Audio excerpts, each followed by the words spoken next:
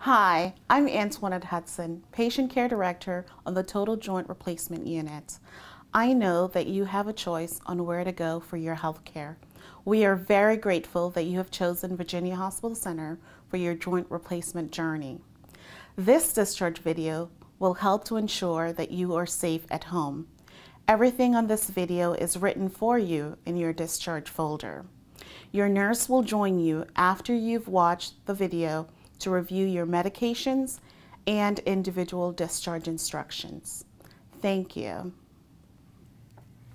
Okay, Mrs. Sullivan, I have your discharge instructions and home medication list ready for you. Do you have your discharge folder? I do.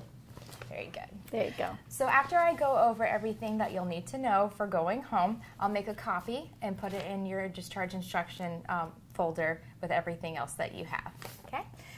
All right, so I definitely recommend that you go over all this information and with your husband when you get home because it's a lot of information, but we'll make sure that you have everything so you're prepared to go home. Are you comfortable? I am. Good. All right, so the first thing that you want to do is make sure that you do your follow up appointment in two weeks. Do you already have that appointment scheduled? I have it scheduled. But do you have the doctor's office number? Yes, it's right here on the instructions, and we'll highlight it for you so it's easy to find. And so you can call if you have any scheduling changes or any questions before your appointment. You should also touch base with your primary care physician, either by phone or email, just to let them know that you've had the surgery and that you're at home recovering. Okay, I'll be sure to do that. Okay, so you don't have any dietary restrictions now that you've had surgery, but to aid in healing and prevent constipation, we recommend that you increase your water, protein, and fiber. Make sure that you continue drinking a lot of water. It's about 8 to 10 glasses every day. And also eat lots of fruits and veggies to prevent constipation. Because remember, one of the side effects that we talked about mm-hmm. with the mm-hmm. pain medication is constipation. Mm-hmm. So you want to make sure that you have a bowel movement in about two days. If you don't, you can have an over the counter stool softener or gentle laxative. And if you, um, you should also eat protein at every meal to promote wound healing. Okay. Uh, what, what has protein in it? What oh, foods? That's a very good question. So, we actually have this nutrition list to help you make good choices with your food. So, protein comes from meat, poultry, eggs, fish, things like that. As for activity, no driving until your surgeon says that it's okay. And you also don't want to drive until you're off your narcotic pain medications.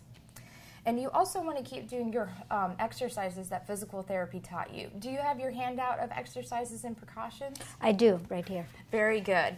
So you want to continue doing those two or three times a day for a few weeks and as you can tolerate. So this means, you know, walk some, exercise some, do your foot pumps, and also rest. A good rule of thumb is get up and walk every 45 minutes. Now that sounds reasonable. Now, when will my physical therapist come to my home? They'll be coming tomorrow for your first session. You should get a phone call sometime in the morning to from them to plan everything. And if you don't hear from them by noon, the agency number is on your instructions and you can give them a call. Oh, good. So your dressing is water resistant, so you can shower with it and soapy water can go over, uh, but it's not waterproof. And I say to be nice to it, so no scrubbing. Make sure you keep lotions and powders away from it because it needs to stay on there for at least seven days to protect that incision while it's healing. But after the seven days, you can peel that dressing back and you'll just keep it open so you can inspect it for signs of infection. And also, don't forget no soaking, so no pools, tubs, jacuzzis to prevent infection.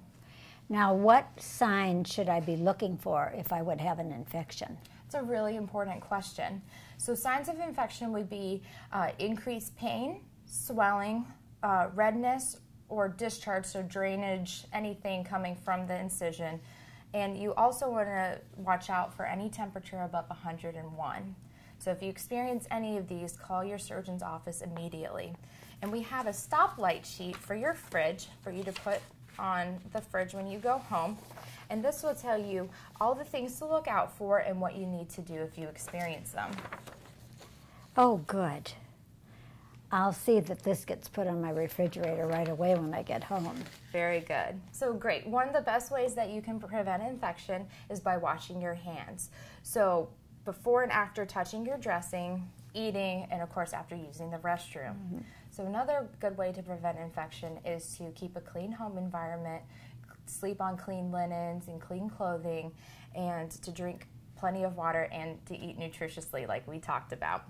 And if you have any pets, make sure that they aren't in the bed with you and that you wear uh, pants, long pants around them. All right. Now, do I take my incentive spirometer home? Oh, definitely. So you want to continue doing your breathing exercises to make sure those lungs are nice and filled.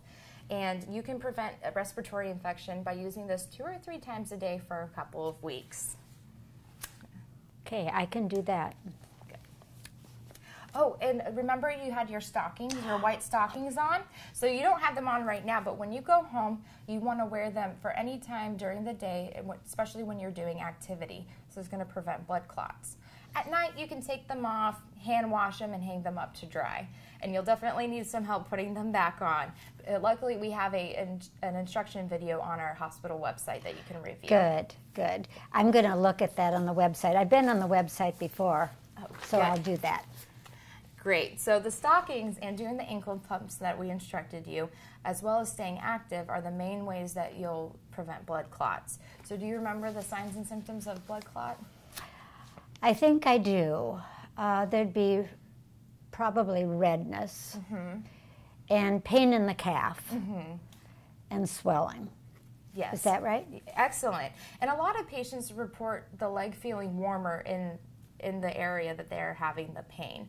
And you can have a blood clot in either leg, not just the one that you had surgery mm-hmm. on.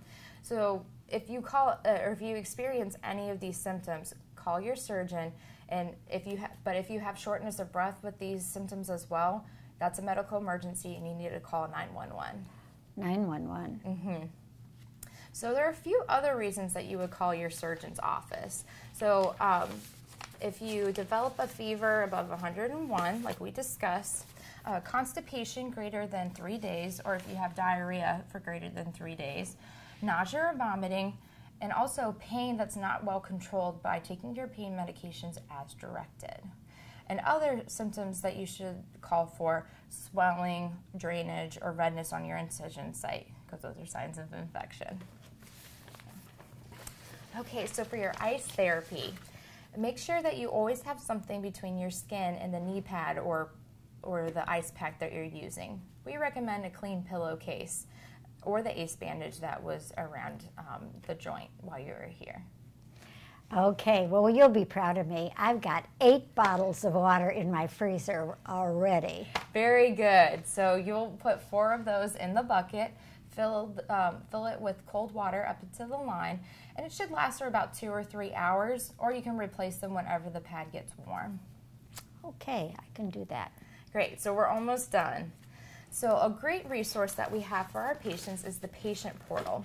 So this paper shows you how to access your account and get that set up.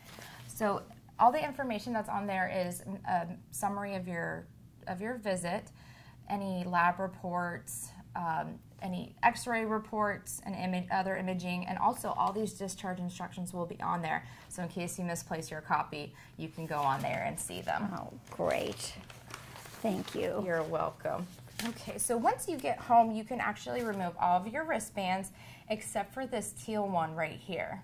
That's the Exparel wristband. You remember the Exparel is the medication that was injected at the incision site to help reduce your mm -hmm. pain. So there's a date on there of when we injected it. You need to keep the wristband on for four days after that. This is just in case you have to return to the hospital during that time we know that you've had that medication in that joint. Okay, so the Exparel helps with the pain control. Mm-hmm. But what about oral medications? Will I take any oral medications during those four days? Definitely. So during your stay, we gave you some pain medications. You're going to want to continue to take them. So the Exparel actually wears off differently for different patients. Oh. Some report a gradual wearing off where it gets tingly, they just feel that joint a little bit more. But sometimes people report that they don't feel anything and suddenly they have increased pain.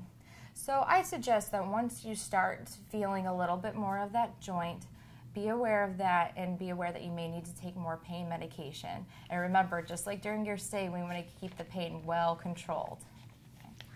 Thank you.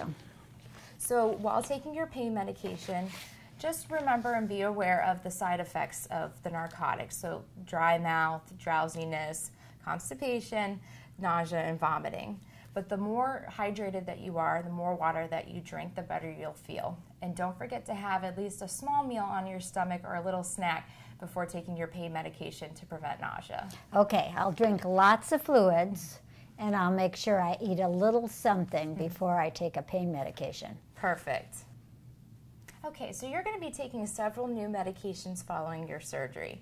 We'll go over your discharge medication list, including how to take the pain medication, um, in great detail so that you're uh, that you can see all of your medications listed with their instructions and when you need to take the next dose when you go home. And we'll go over that personally for you after this video. Oh, good. Okay, are there any additional questions, Mrs. Sullivan?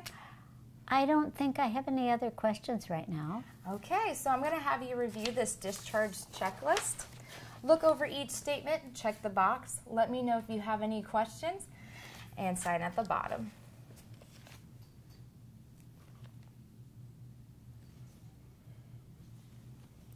Very good. So I'm going to make a copy of all these papers and put them back in your discharge folder.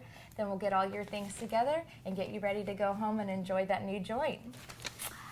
Thank you so much, Caitlin. I'm going to go home. I'm going to read my instructions again. I'm going to watch the video with my husband, and I'll be all set. Yes, Thank you so much. You're welcome. It was a pleasure taking care of you. Thank you for choosing Virginia Hospital Center. Please call your nurse for any questions or concerns. Have a speedy recovery.